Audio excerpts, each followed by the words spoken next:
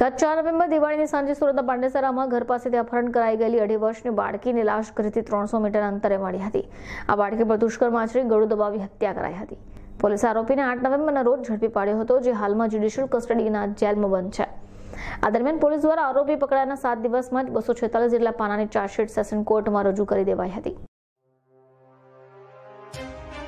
વડોદ વિસ્તારમાં રહેતા પરપ્રાંતીય પરિવારને અઢી વર્ષે માસૂમ બાળકનું અપહરણ કરીને પાંડેસરા જેડીસીની આમી ડાઇંગ મિલની પાછળ વવરું ઝાડીમાં લઈ જઈ દુષ્કર્મ આચરી હત્યા કરનાર ગુડ્ડુ કુમાર મદેશ યાદવ, ઉંમર વર્ષ પાંત્રીસ, રહે ભક્તિનગર, ગોકુલધામ આવાસની સામે, વડોદ, મૂળ ખેરા, મઠિયા, બિહાર. આઠ નવેમ્બરે ધરપકડ કરાઈ. પોલીસે ગુડ્ડુના ત્રણ દિવસના રિમાન્ડ મેળવી પૂછપરછ શરૂ કર્યા બાદ સાત દિવસમાં એટલે કે આજરોજ કોર્ટમાં ચાર્જશીટ રજૂ કરી.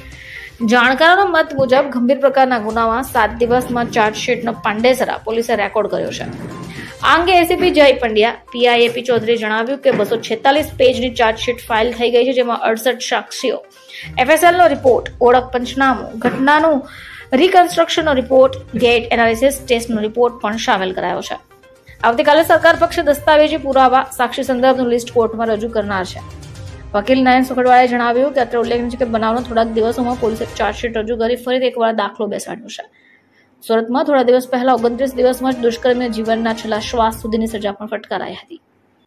સુરત મુકામે પાંડેસરા વિસ્તારમાં જે વડોદ વિસ્તારમાં દિવાળીના સમયગાળા દરમિયાન એક દુઃખદ ઘટના બની, જેમાં અઢી વર્ષની બાળકી ઉપર બળાત્કાર અને એને ખૂન કરવામાં આવ્યો. તે કેસમાં આરોપીએ, આરોપીને પોલીસે ઝડપી પાડ્યો. પાંચ પોલીસ કસ્ટડી હેઠળના રિમાન્ડ મેળવ્યા અને ખૂબ જ ટૂંકા ગાળામાં, પરંતુ તટસ્થ રીતે તપાસ કરીને ગઈકાલે આરોપી વિરુદ્ધ ચાર્જશીટ દાખલ કર્યું. લગભગ સાત દિવસની અંદર જ આરોપી વિરુદ્ધ તપાસ પૂરી કરી અને ચાર્જશીટ રજૂ કર્યું. આ કેસમાં કુલ અડસઠ જેટલા સાક્ષી છે અને અઢીસો જેટલા પાનાની ચાર્જશીટ છે. પ્રોસિક્યુશનનો પણ એ પ્રયત્ન છે.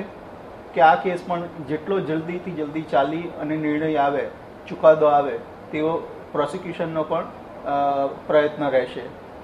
એ કામમાં ગઈકાલે મને પેપર્સ મળ્યા અને આજે હું દસ્તાવેજી પુરાવાનું લિસ્ટ સાક્ષીનું લિસ્ટ પણ હું નામદાર કોર્ટ સમક્ષ રજૂ કરી દઉં છું. એટલે પ્રોસિક્યુશન સરકાર તરફે પણ એક પ્રયત્ન છે કે આ કેસનો પણ ઝડપ, ઝડપથી ઝડપ ચુકાદો આવી જાય. આ ઉપરાંત, આમાં પણ ખૂબ મહેનત કરી અને સમાજમાં એક દાખલારૂપ થાય તેવો ચુકાદો મળે તેવા તમામ પ્રયત્ન અમારા રહેશે. Bureau report, channel I witness, Surat.